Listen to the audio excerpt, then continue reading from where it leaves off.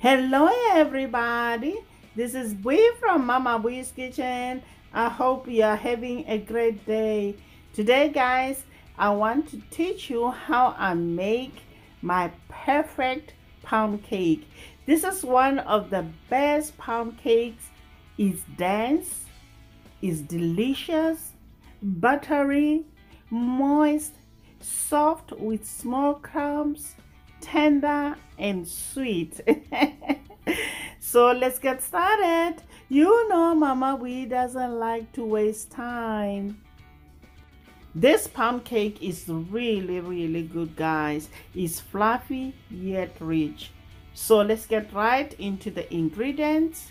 For this recipe, you will need one pound of butter, flour, eight eggs, baking powder, vanilla extract, and sugar. So let's get started.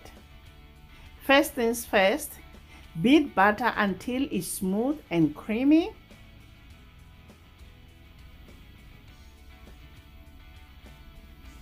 Next, beat in the sugar on medium speed until butter and sugar are smooth and well combined.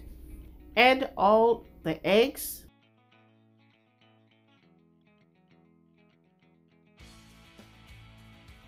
Along with vanilla extract. Then mix until well incorporated. I have another good recipe for pound cake with less eggs. I'll leave the link somewhere up here. You can go and check it out. Combine flour salt and baking powder. Whisk everything together, just like so guys.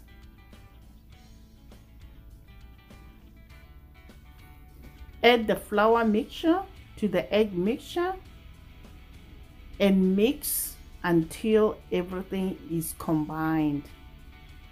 Guys, with this recipe, do not over mix an overmixed batter results in a tough cake.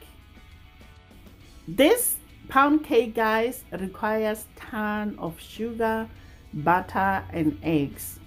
Unlike the other pound cake recipes out there, this pound cake has baking powder.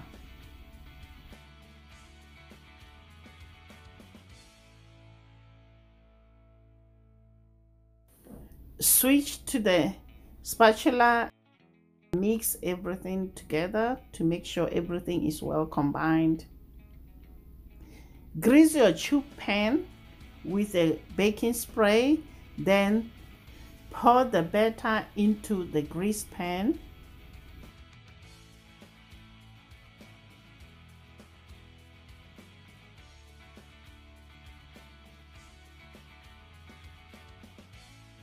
Use the spatula to smooth the top.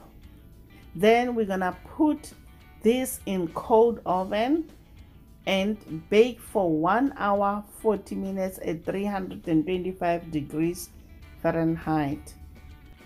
Cool the cake in a pan for 15 minutes then invert it into a serving plate to cool completely guys i hope you enjoyed this video. Please share this video with your friends and your family.